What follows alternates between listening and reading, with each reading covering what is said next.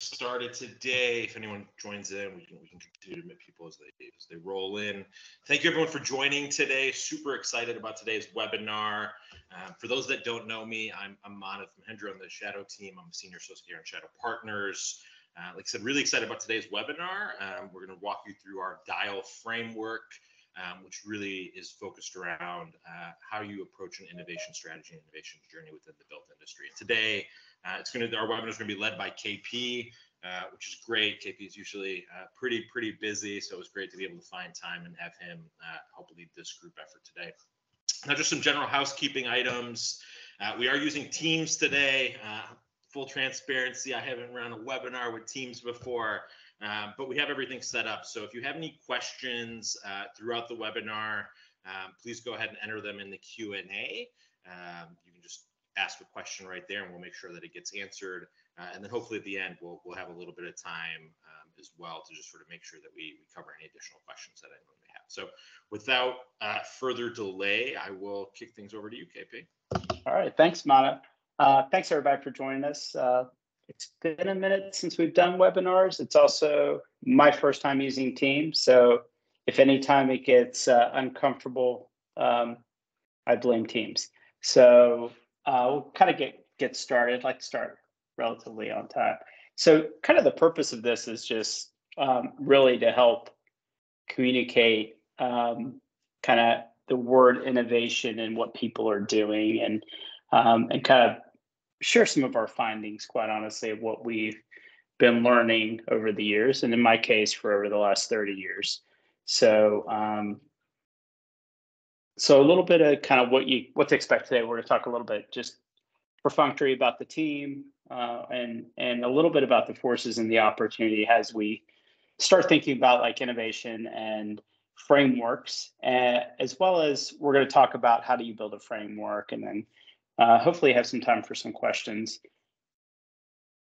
So real quick, like why why are we doing this? Um, so I'll get into my story a little bit, but we we still fundamentally believe and have believed for me that for the last 30 years that innovation is imperative to our industry. So the mission of Shadow Partners here is really to kind of put together tight knit communities. It's not about tens of thousands of people, it's about hundreds of people that actually care about driving innovation. And we get them together and we do things like this, which we consider educational in terms of workshops. Um, we also believe that collaboration is key. So we run a lot of in-person, few in-person events, our annual summit. Many of you guys have joined us for that. Um, we also provide some advisory stuff along the way for people that have more advanced needs. And of course, a lot of y'all know us from our uh, venture fund, Shadow Ventures as well. So from there, just a little bit, and, and I think I hate talking about myself, but I'm going to do it anyway. Um, just for context and background, um, second generation civil engineer. I've been writing code since I was 13, built companies, focused, you know, worked as an engineer in, in actually field engineering and built a lot of companies, wrote a couple books, one around startups uh, and one around BIM back in 2011.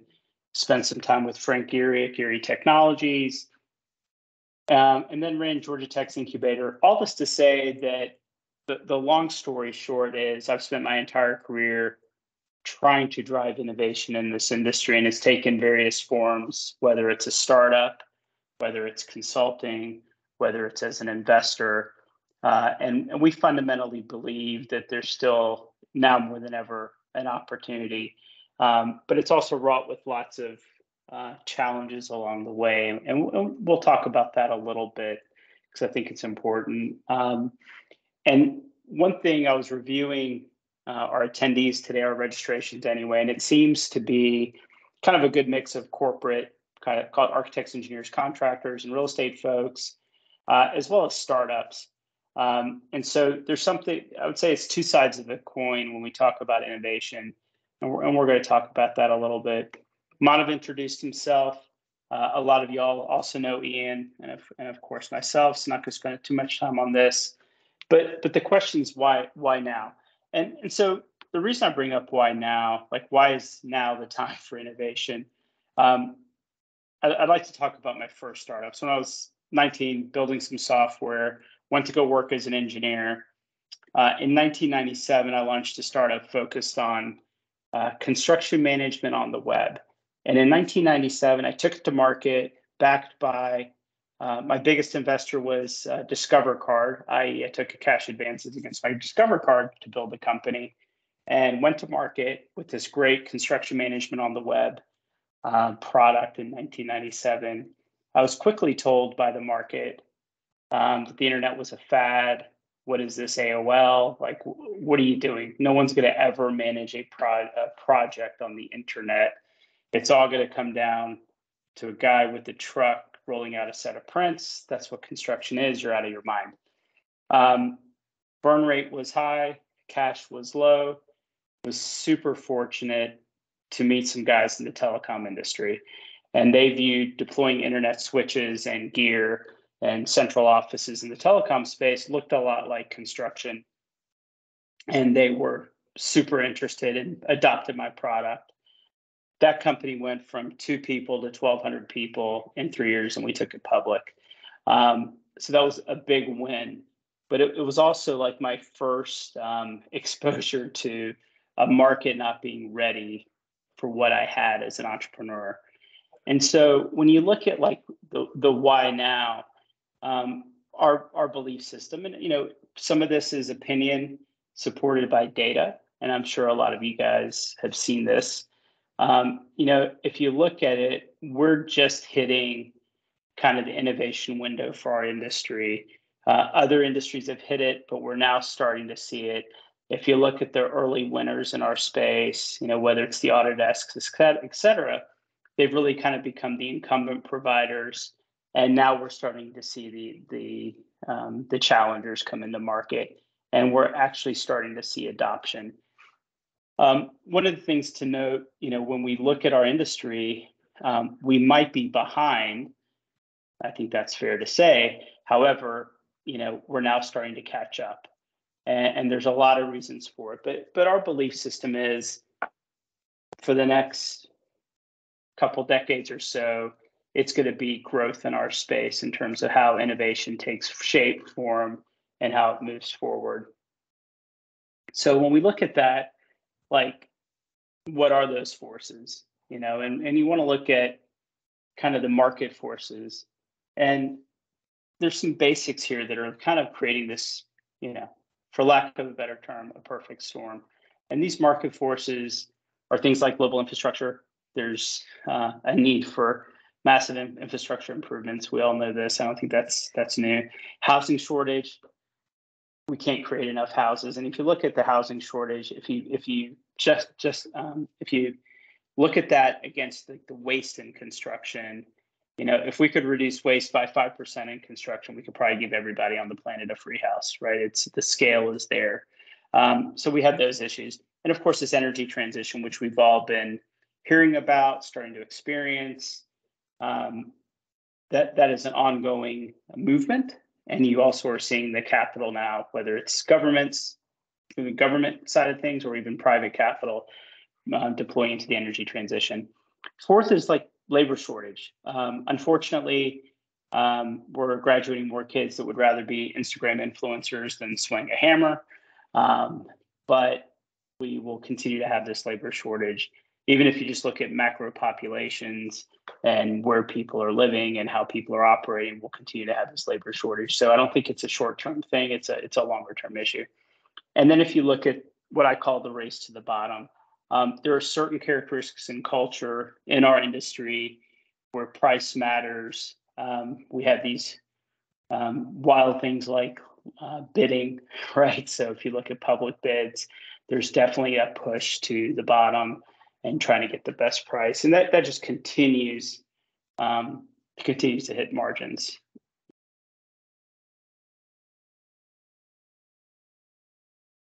Um, so if you take those market forces and you match that against some of the technical forces, um, if you look at the technical risk, you know, you, you definitely have much more reduced technical risk.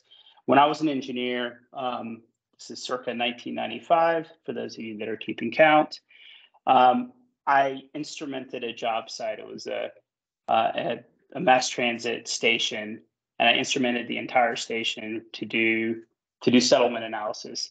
It took me a $10,000 Panasonic Toughbook.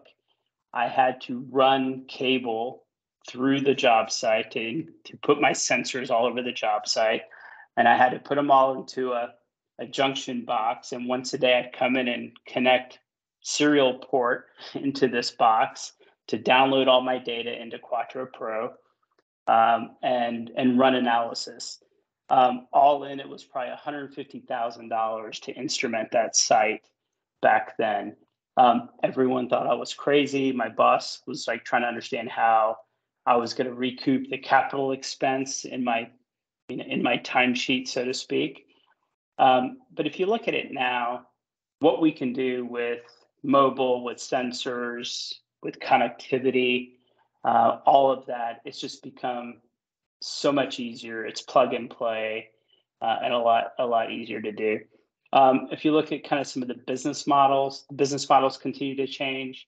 I think in our industry, um, if you look at especially on kind of the engineering consulting side or the architectural side, how do we move away from timesheets to kind of value based rather than kind of timesheets? So there, there are there's lots of space for for new business models.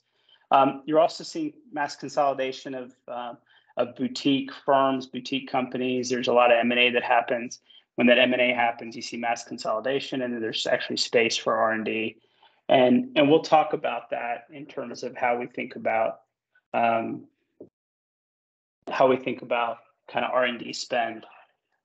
Um, I would say there's also a new guard. You know, back in '97, when I was told like, "Hey, it's always going to come down to a guy with a truck and a set of blueprints," um, I think that world has changed. I think if you see the the advent of drones and BIM, my belief system is if BIM hadn't come along, we would have probably missed an entire generation to have any level of interest in our industry.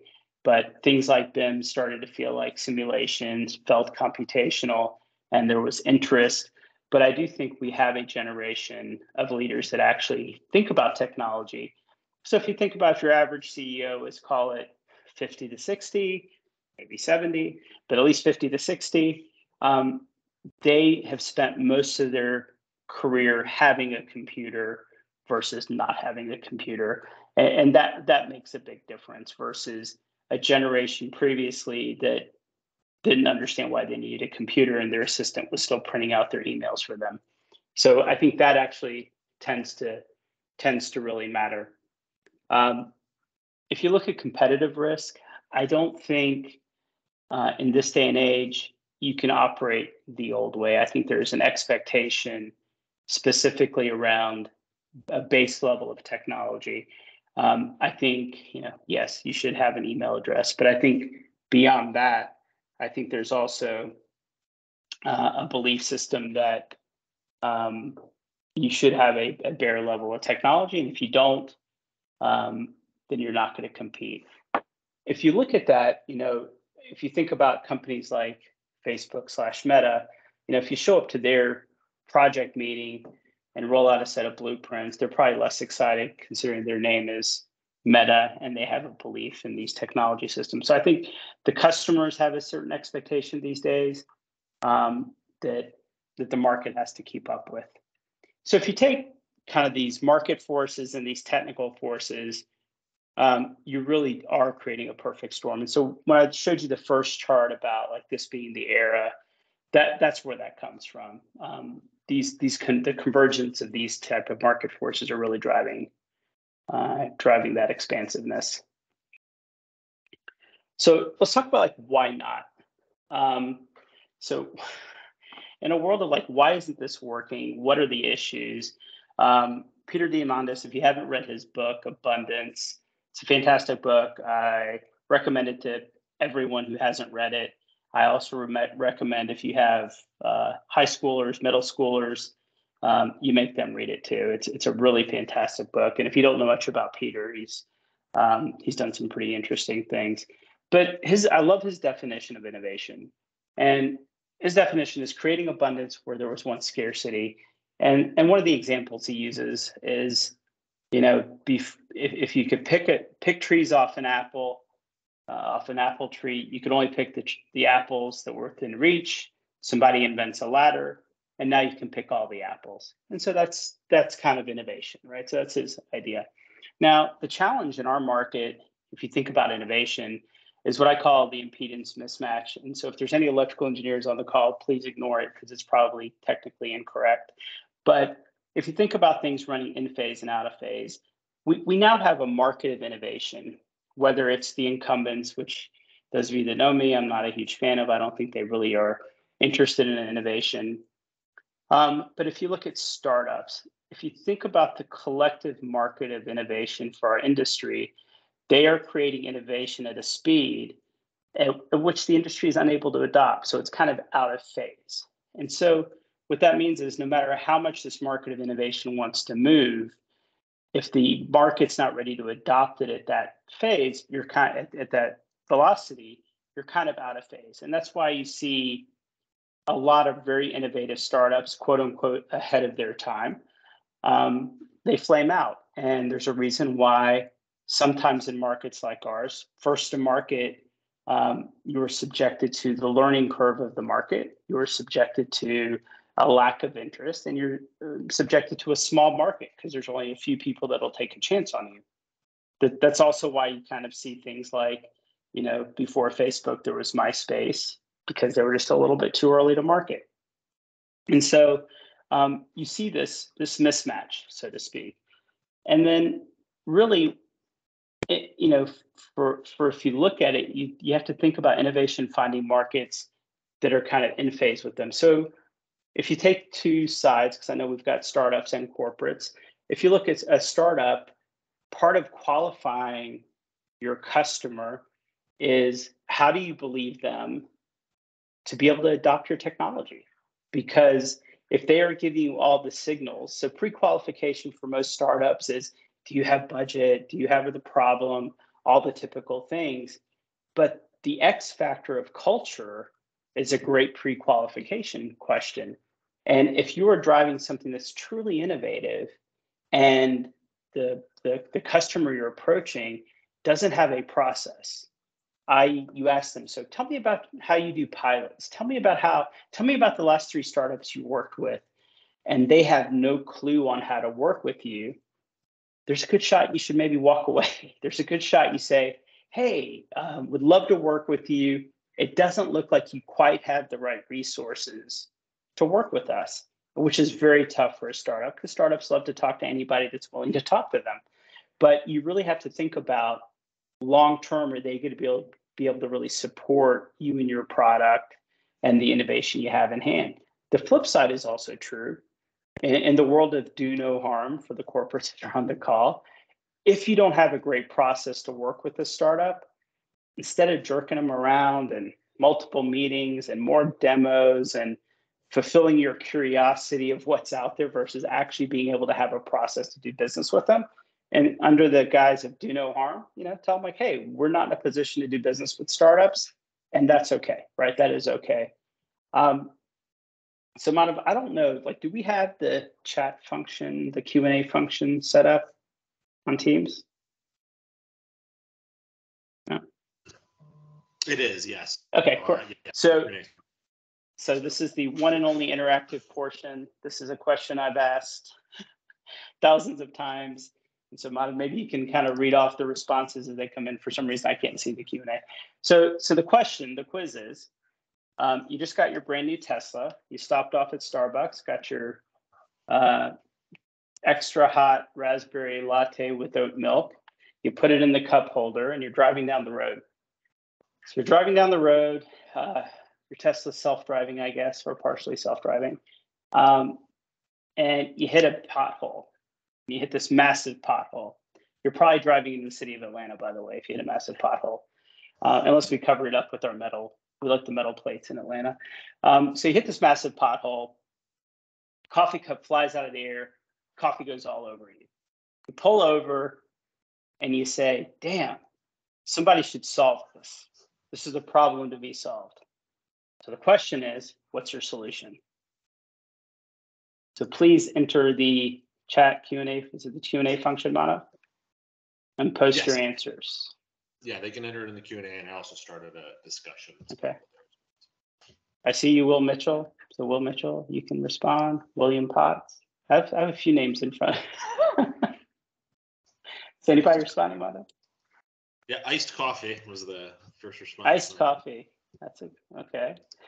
So you're just wet, you're not high.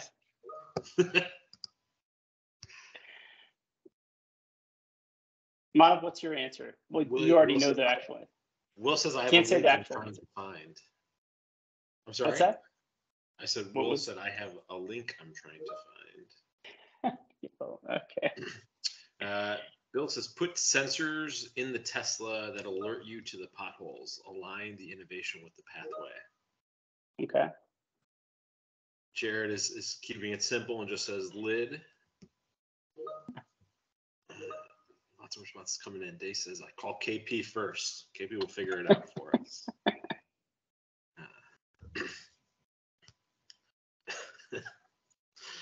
Uh, maps feature that has the capability to report where potholes are and have your navigation avoid them. Another keep lid on the coffee. We'll post it.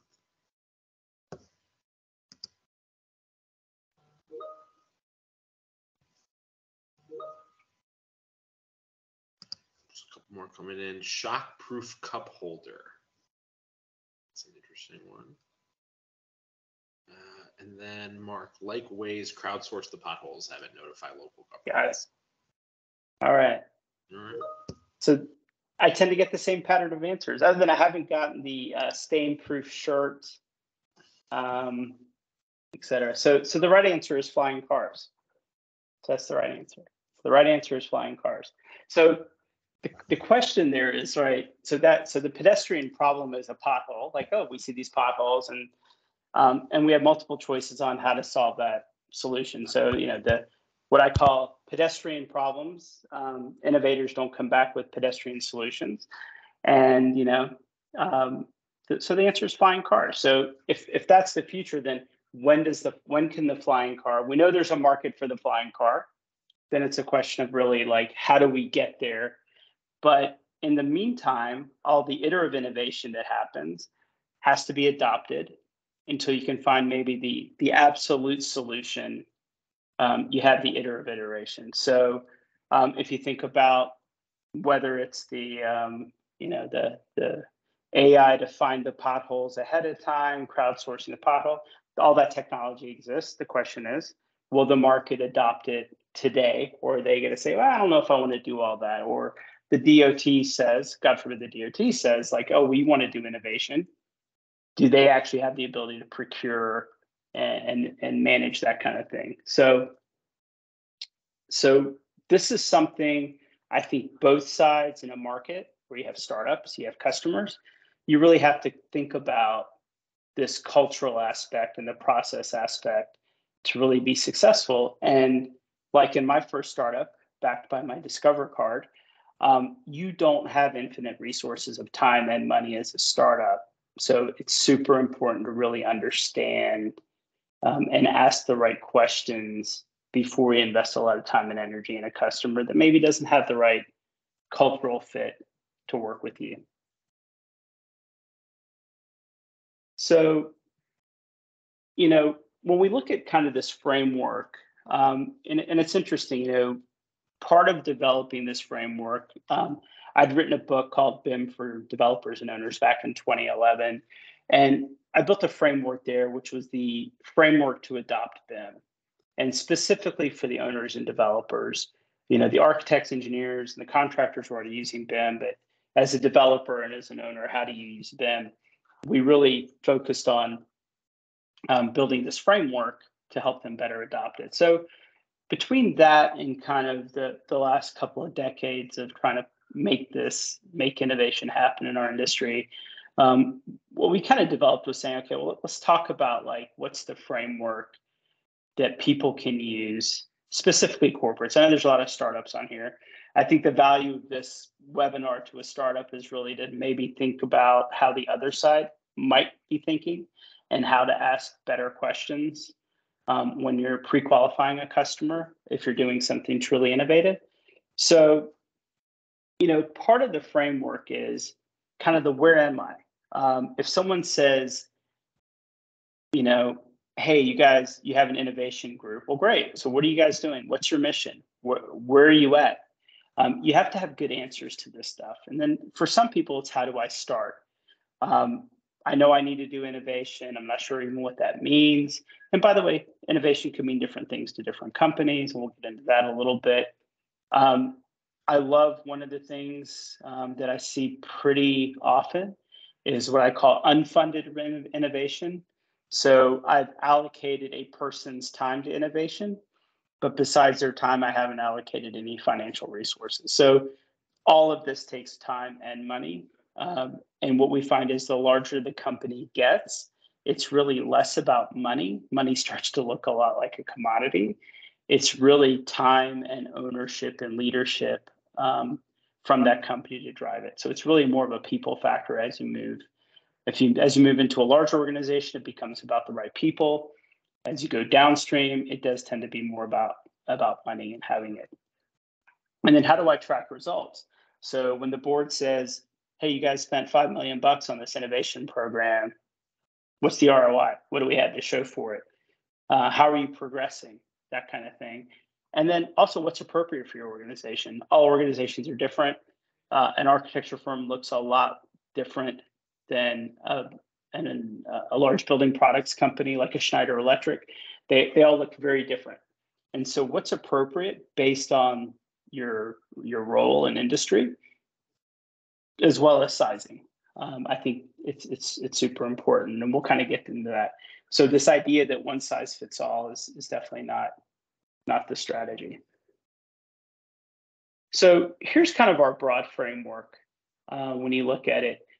Um, you kind of look at these these six areas, these six vectors, so to speak.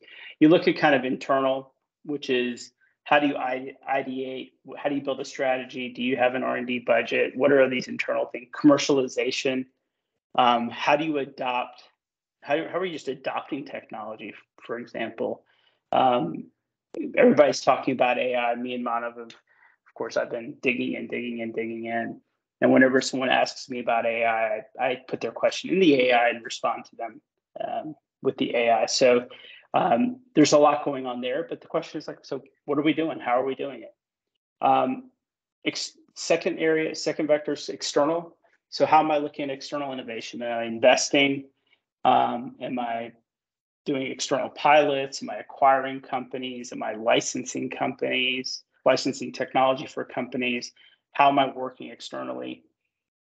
And then I think the third one is like just so different for our industry ecosystem. So if you're a large corporate in the beverage industry, your ecosystem is a uh, is your retailers and uh, supply chain providers and it, it's a pretty small group uh, and it's pretty consistent. It's highly repeatable. I think what's really unique about our industry, as people try to relate us to manufacturing, um, we actually look a lot less like manufacturing, and we look a lot more like the movie industry. I.e., we work on a project. There's a set of actors, players, producers, directors, and then we all do this project together, and then we all go home and we may or may not see those people again. We might have some favorites, might have some favorite contractors we work with, we might have some favorite engineers we work with, but generally speaking, each project is its own um, own unique um, enterprise, so to speak. So the project is an enterprise.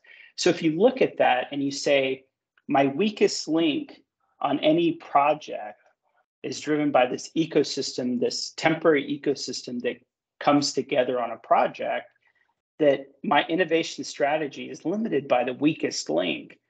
How do I prepare and understand and pre qualify the subcontractors, the sub consultants that are working with me and really understand that? And I think for our industry, that is just very, very unique compared to maybe, you know, food and beverage or something else.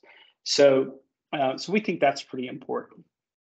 Um, the other thing around ecosystem, people kind of forget the customer.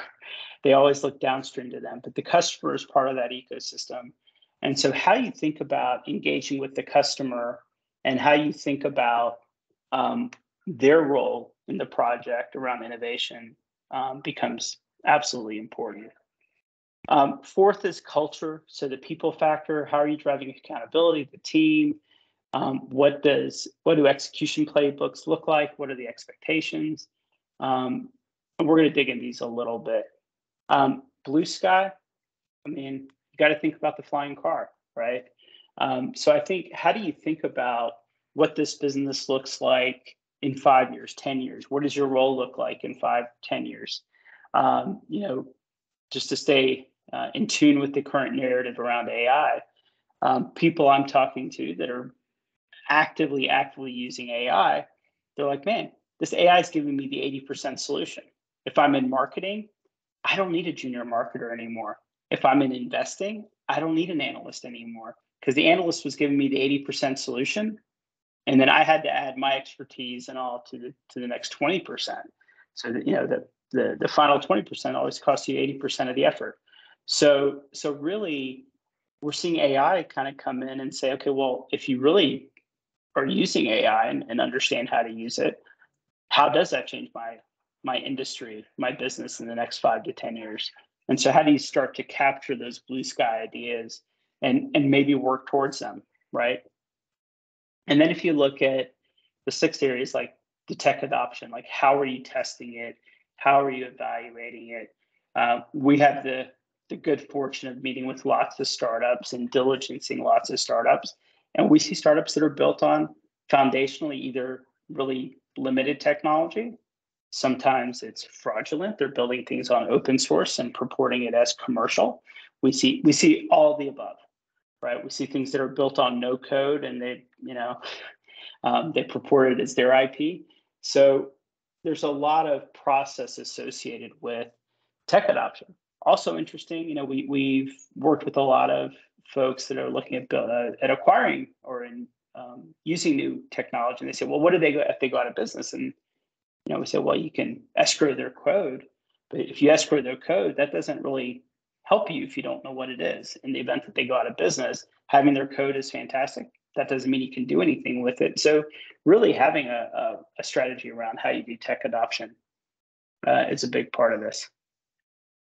So, we recently, um, probably the last three or four months, we've been running this survey uh, across um, across the market, and we've gotten um, pretty good response. And I thought it'd be interesting to kind of just share. And I think Manav is going to be publishing this uh, report in in a couple weeks. Um, check out our, you can always check in our website and see when he posts it. Um, but some of the some of the the feedback we got was super interesting. When one was when we asked the question of how important is innovation as a key differentiator in your company. Um, you know, pretty high percentage said you know that, it, that it's it's important, right? When you start to dig into some of these questions, um, it's it's interesting the feedback we're getting. Keep in mind too, like in the report, we'll full we'll we'll give the full release of like the demographics. Um, we're starting to see that it's becoming actually increasingly important to large companies, which is obvious, and to the really small companies. Some of the middle market companies are kind of saying like we're not sure. We don't know what we're doing. So they're kind of caught in the middle. When you think about uh, what's your r&d budget that's actually a new construct for a lot of firms whether it's construction or design probably less so in the building product companies. Um, you know if you're Owens Corning or BASF et cetera chances are you have an r&d budget because you're actually inventing and creating things in the lab. Um, one of the interesting things when we ask questions about sizes of innovation team or just innovation in general, um, one of the cool things about uh, technology, and we can kind of see how long it takes people to answer certain questions. And it, w- it was pretty clear that when we asked uh, questions about team and around their size of their innovation team, or do they have a chief in uh, innovation officer, et cetera, there was a lot of pause. So I think there's what that, what that says is that it's not super clear to people, but most people, um, you know, according to our survey, just kind of said not applicable. You know, we don't really have, we don't have any essentially, uh, which is super telling. Uh, when we ask some questions around external, You know, how do they look at how they keep up to date? Um, interesting enough, um, it, it aligns with some of our mission. A lot of it seems to be peer learning, learning from people at conferences. Uh, I think what is fantastic about our industry is that um, while we can be super competitive, there's definitely a lot of willingness to share information and, you know, hey, what are you doing? Hey, we're looking at this. If you looked at that, um, people seem to collaborate pretty well on, you know, what's everybody else doing. Uh, you know, how do you look at funding innovation? Back to the how we operate on the at a project level, you know, it still seems to be like uh, seems to be that most of our market, most of our industry is continually trying to fund innovation through projects. So I I'm not going to fund it at a G&A level. I'm going to fund it at a project level, um, which which makes sense, right? I, I would say sometimes the data tells you what you kind of already know, but you know we also see this with startups where startups start off working on a project because that's the easiest access. And then as they work on multiple projects, then they maybe move up through the enterprise. Um, but clearly, the funding for innovation is still happening at a project level versus kind of at a, a G&A or at a strategic level. Um, how do we look at uh, approach on partnering and driving innovation?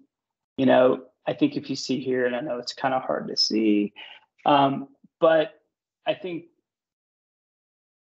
there really, you know, there, there is an interest in working with startups. I think our industry likes the idea, but once again, I think it's um, it's it's early days, and there's a lot of, you know, they, there's initiatives, there's some framework, but it's still kind of early days. Clearly, larger companies seem to have a um, mostly have a better system to work with startups. A lot of them, especially in construction, where there's a lot of autonomy at a project level and at a field level or at a regional level. Um, there is still kind of a lot of we're seeing a lot of fragmentation of of how they're partnering with startups. So um, five different field, five different regions might be working with five different startups that do the same exact thing. And I know a lot of the folks on the call are trying to solve that for their organizations, but that still seems to be uh, a big part of it. Um, ecosystem, how do you look at external partners? Um, and, and, how are you collaborating? Um, I think once again, you know, a lot of the information is that, hey, we're, we're trying to do our best. Uh, I thought this was interesting, the participation in industry associations and networks uh, to get the ideas. I think people continue or are continuing trying to like find the, I think the good news is everyone's looking for the answers outside of their organization. Um, the bad news it's it's also hard hard to do so. Um, so the you know what I, I'm I'm pretty optimistic about this. Um, although the data might look less optimistic. Um, but does your company have a designated innovation team? Quite honestly, I think if you asked that five years ago, the answer would have been no. Um, uh, it would have been 100% no, probably. So I think that we're kind of call it 50 50. I, I think that's pretty, uh, I'm, I'm pretty optimistic about that. Some of y'all may not be, but I'm, pretty optimistic about that. It's, it's, it's still early innings, but we are seeing people that are actually dedicating resources. Um, taking risk and risk taking, it, it's an interesting dynamic. You know, so much of risk taking is having information to actually understand how you can uh, mitigate risk and take calculated risk. I think the idea that most people said we trust our leadership to take calculated risks. Uh, I found like really interesting in the fact that you know the word the word trust right the word this idea that we, we trust them, but um, but there may not necessarily be a framework around how you take risk right? So this idea that there's more trust versus having a formal risk framework, I think is is a little bit fascinating. Um, at, at what point do they start thinking about, hey, we need to actually have a framework versus just trusting? Um, blue sky, which is always the fun part. You know, how often are people really looking at looking at blue sky opportunities and blue sky ideas. You know, uh, formally or informally. You know, sometimes informally it's uh, sitting at the bar at the end of a conference. Um, sometimes it's over a cup of coffee. But how often are you really looking at it? And I think there's the idea that as needed shows us that there's still kind of not a lot of structure around that. Um, and then we looked at how do you generate, you know, I thought it was interesting that people are doing brainstorming sessions. I do wonder at how well this is kind of being documented and, and looked at and, and and what's the action, right? Is it, hey, we're gonna sit around and talk about flying cars, or do we have a path to thinking about how we're gonna participate if flying cars show up tomorrow? Um, so last one, adoption. How are you doing it? Um, super interesting for you startups that you know we have an informal process, right? Which I'm sure if I if I pulled all the startups, they'd say, "Yep, that sounds about right." Um, I, I think that's one of those things. Like this question alone, if you're a startup and you're engaging with a potential customer, this question alone might save you a lot of pain and suffering. Um, because if it is informal, um, there's two ways to look at that. One, you're going to spend a lot of educational cycles with that prospect, helping them understand and, and going through that. It could also mean if it's informal, that you might be able to hack your way through it. It might be that hey, if I convince this one person, I can get in on, I can I can get them going, I can get a pilot going. So informal um, has I, I would say it has it's a double-edged sword. Informal can mean like they could waste your time and you get to the end of the road uh, and you've wasted all this time and energy, or it could mean that there's because it's informal, uh, if you can be clever, maybe there's a way in to get your product. Um, how do you implement innovation? Here, here's an interesting thing around having dedicated teams to pilot is that they're just could be better equipped with, I would say, the the informalities of a startup or maybe the lack of you know documentation or training or onboarding or customer success all these things that maybe they expect out of some of the incumbent software providers or technology providers they work with a dedicated team will won't won't ask the questions that they already know the answer to whereas a um, a, a, team that's also implementing new um, large format printers and is also going to implement your new technology, they might need a bit, a bit of a tighter playbook and might get frustrated um, through that process. So um, I, I, would say everything gets rehashed. So a lot of this, if you've um, read Crossing the Chasm, et cetera, you know, this is just kind of our our flavor of crossing the chasm, so to speak. But I think what's interesting about kind of classification of companies, if you're a startup, probably don't want to chase laggards unless you have a, uh, a some kind of legacy product. But you know, my my question about this is always if I'm working in an organization and I kind of fashion myself as a disruptor, and that is where my biases are, and that is what I want to do with my career and, and the company I work for is much more of a laggard company. Um, you might want to put your resume together. Might be time to move on to a different company, or you better have better hobbies. Um, because I do think there is an alignment. There's absolute alignment, just like when we talked about the the market of innovation and the the need to be in phase with the adoption side and with the market side. There's also a similar aspect to the culture of if you're working at a company and you want to do these super interesting things career wise and your company is less interested in it um, you can just get super frustrated along the way and get nowhere. So i think that's always kind of a, at, a, at, a, at a personal level it's a great question to ask yourself how do you align with your organization and either either you're in a position a leadership position to be able to drive that change possibly, uh, or you might want to do something different.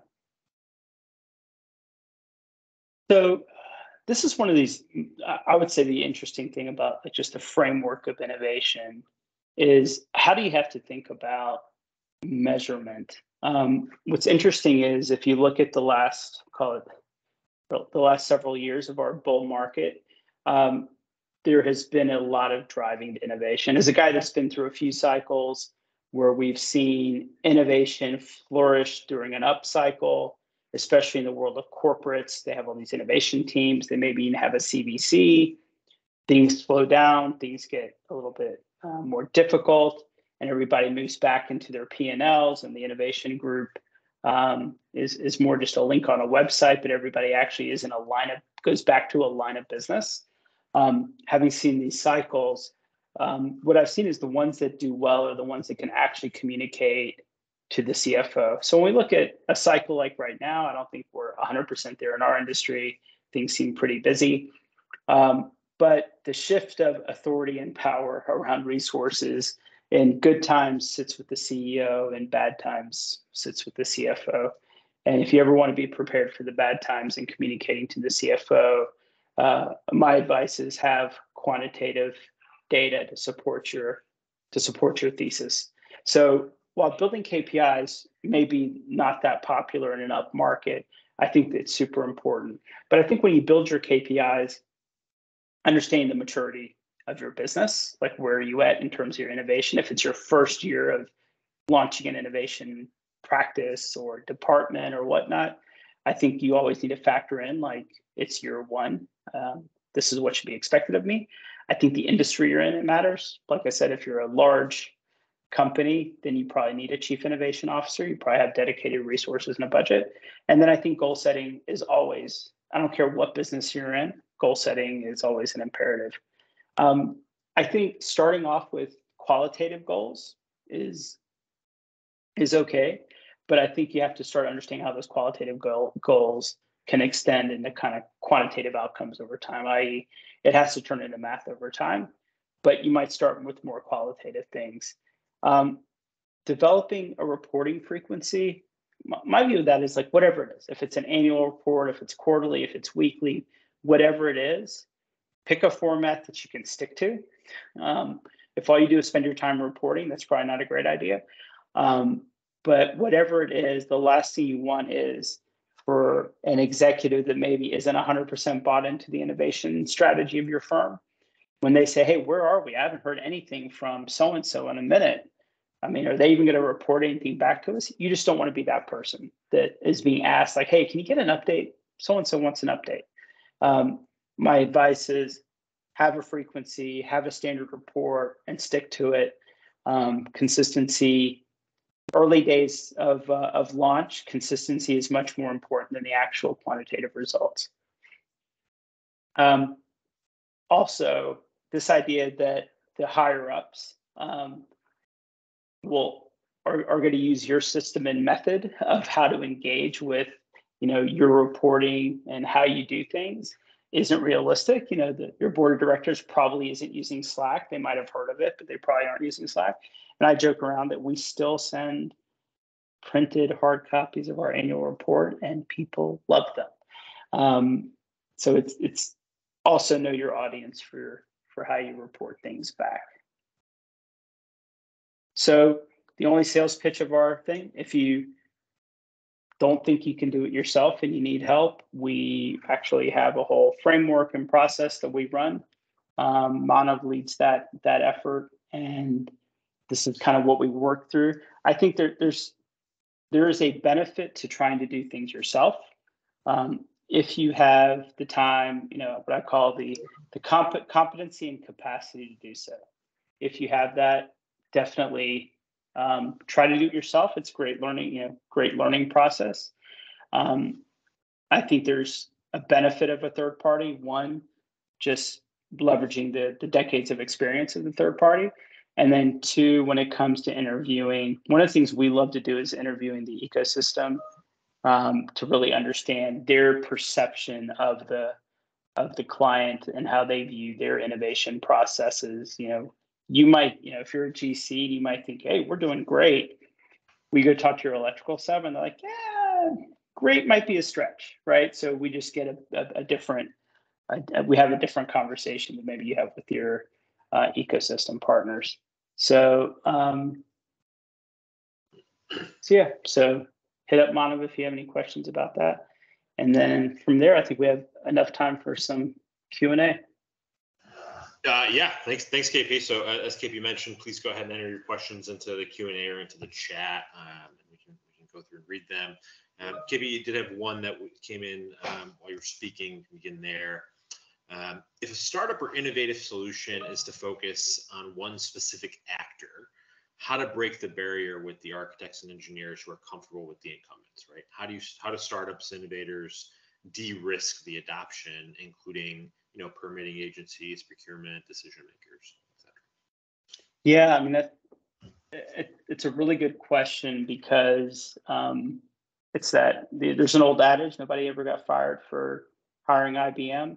Um, there's a little bit nobody got fired from buying software from Autodesk or Procore or whoever. So for sure, um, I think it's it's really trying to focus on this is where understanding your your product and feature compared to the incumbent. So if you take your product feature matrix and you take the incumbent's product feature matrix, you have to look for a weakness in the incumbent. Now that weakness has to align with a pain that the customer might experiencing.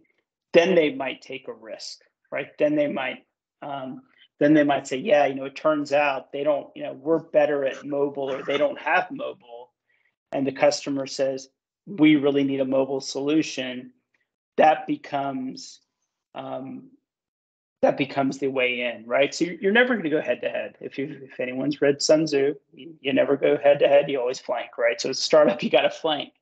Um, so I think I would, and and I think communicating that to them, you know, the idea that the prospect's going to go do this product feature um, assessment and transpose your product against the incumbent and figure it out themselves, that that's a that that's a fallacy. But I think if you go to that prospect and say, "Hey, I know here's what Revit does, or here's what Procore does, here's what I do, and here's where the gap is," and we're really good at at this. We're very good at where this company is weak. Um, is that important to you? That then that's that's kind of the chink in the armor. Thank you. All right, uh, another question. Uh, do you think having a dedicated innovation team is a good thing, or does it absolve the balance of the organization from developing an innovative mindset or an innovation mindset? Um, I think it. I, I get it, right? But I think I think having a dedicated team is super important because I think if you look at like innovation and people, you know, if it's just like this ideation thing, I think it's imp- it's important that um, your innovation team still be super approachable and be somehow matrixed out, whether region, whether business line or whatever, and actually have engagement with the business line. The other the other thing is a business an innovation group can become very myopic if they kind of are just hanging out with themselves. And so I think it is important to have even I think I think it being dedicated to it because there is some muscle memory and um, that, that's created by doing the same thing every day but I, I, don't think it means you become myopic. I think there has to be a formal method in which they work within the business lines and the people on the ground. Great, thank you. Uh, I, I, think we have time for, for, uh, maybe one more question. If anyone has any other questions, um, please just go ahead and throw them into the chat. You know, it's Friday though, so everyone probably wants to get off and into their next meeting, not be late for the day. So I totally get that as well. Um, so um, with that being said, um, thank you everyone for, for making the time today. As KP mentioned, um, we will be publishing, you know, that I will be publishing the report with all of our findings from our innovation survey uh, here in the next couple of weeks. Um, so everyone, uh, please be on the lookout for that on our website. And if anyone needs help with anything, or we can answer any more questions that anyone thought of, please please reach out. And contact information is right up on the page. All right. Thank you all so much. Have a great Friday. See